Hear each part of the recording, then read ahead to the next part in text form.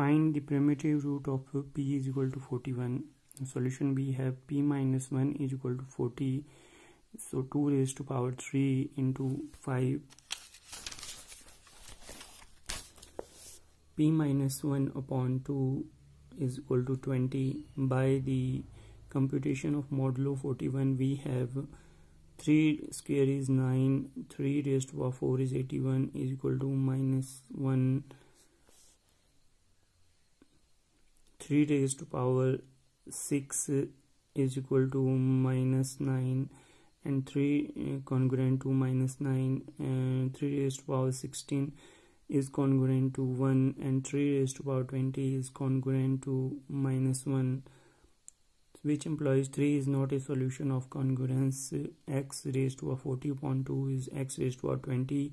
is congruent to 1 modulo 41 as p minus 1 upon 5 is equal to 8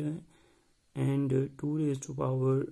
2 is equal to 4 2 raised to power 4 is equal to 16 2 raised to power 8 is equal to 256 is equal to 1